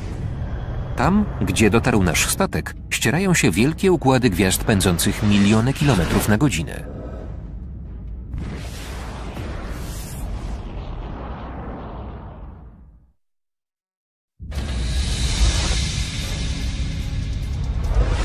Wystarczy rzut oka na gromadę, by przekonać się, jak grawitacja łączy gwiazdy. Grawitacja kształtuje wszechświat. Działa na wielkie odległości. Może wiązać galaktyki w gromady tak samo jak gwiazdy, ale na większą skalę. Powstałe obiekty mają miliony lat świetlnych średnicy, to fantastyczne. Podobny proces toczy się tuż za naszym progiem. Wystarczy tylko opuścić drogę mleczną. Droga Mleczna to rozległa, ale luźna galaktyka spiralna. Należy do małej grupy lokalnej, typowego skupiska materii we wszechświecie. 5% galaktyk należy do wielkich gromad, a połowa do małych skupisk. Nasza galaktyka należy do grupy lokalnej. Jej największe obiekty, Drogę Mleczną i M31, czyli galaktykę Andromedy, dzielą 3 miliony lat świetlnych. Trzecia co do wielkości to galaktyka Trójkąta. Między nimi krąży kilkadziesiąt galaktyk karłowatych. W każdej gromadzie galaktyki powoli się zbliżają. Za jakieś 5 miliardów lat droga mleczna połączy się z galaktyką Andromedy. Dopóki oglądamy kosmos z orbity Ziemi, wszechświat wygląda tak. Dominuje w nim tarcza galaktyki, widoczna jako biała wstęga przez środek. Gdy droga mleczna zderzy się z galaktyką Andromedy, obraz ulegnie zmianie. Po tym widowiskowym wydarzeniu powstanie galaktyka eliptyczna zupełnie inna od obu składników. Andromeda i Droga Mleczna okrążą się wielokrotnie, zanim się połączą, tracąc elegancki spiralny kształt. W końcu zleją się w ogromną, zaokrągloną bryłę, typową dla galaktyk eliptycznych, jakich wiele w kosmosie.